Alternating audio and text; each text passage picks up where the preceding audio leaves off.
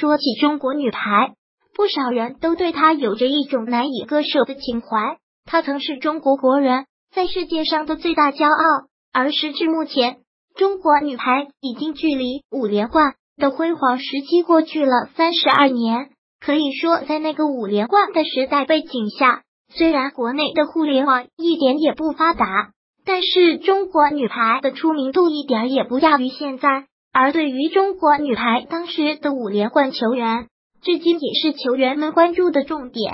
而今天小 B 要给大家介绍的是杨晓军，她不仅是老一代中国女排三连冠功勋球员，跟随老女排一起夺得第二十三届奥运会金牌。一九八五年第四届世界杯冠军和一九八六年第十届世界赛冠军，也是老一代女排时期的功勋副传手。而要说杨小军的必杀绝技，那绝对是一传的成功率。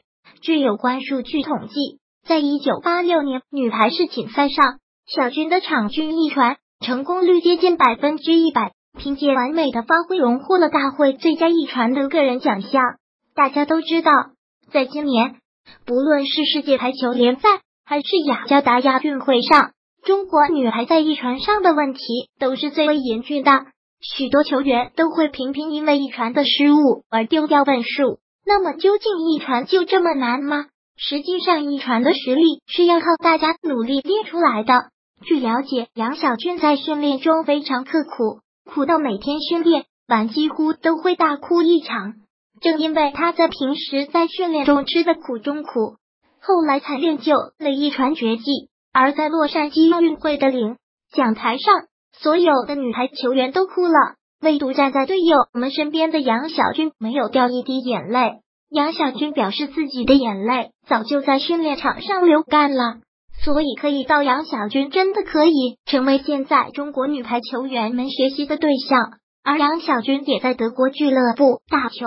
时结识了一位德国国家队男子排球队员，两人情投意合，并且结婚了。而因此，杨晓军也是三连冠队员中唯一一位嫁给洋人的名将。虽然杨晓军已然很久没有亮相，但两人如今的生活也是十分幸福。